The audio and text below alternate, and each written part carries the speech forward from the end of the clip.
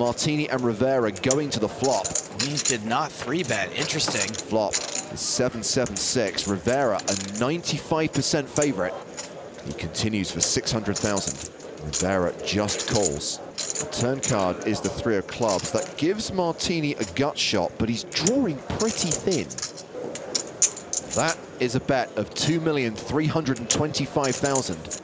Rivera calls again. This hand going to the river is the six of clubs.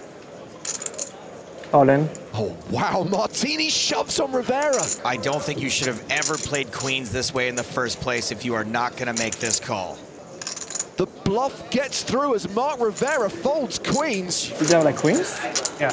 Yeah, queens? What did you have? Come on, that's unfair. You won't like it. huh? I had a five. Oh, okay. Oh, okay. A five is nothing.